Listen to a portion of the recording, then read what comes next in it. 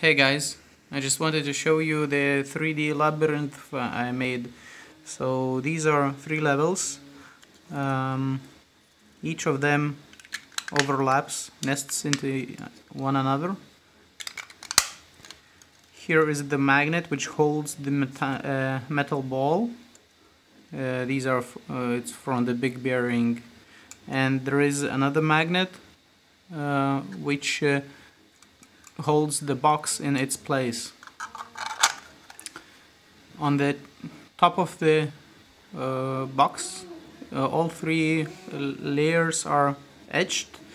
So here you can start like this, and then you can go second level, third level, and then the ball goes out.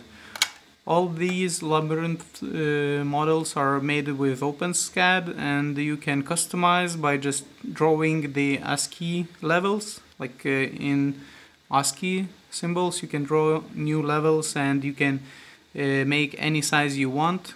Uh, and it's just by drawing all, all those levels.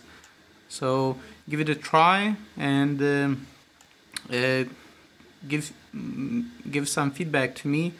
Uh, an improvement I want to make is uh, that each level uh, would show where the ball comes and uh, where the hole uh, is. Like here, I know that the end of the level, like the end of this curve, is the exit, and then here I know that it goes in.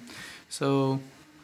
Um, give it a try and uh, I'm looking for your feedback.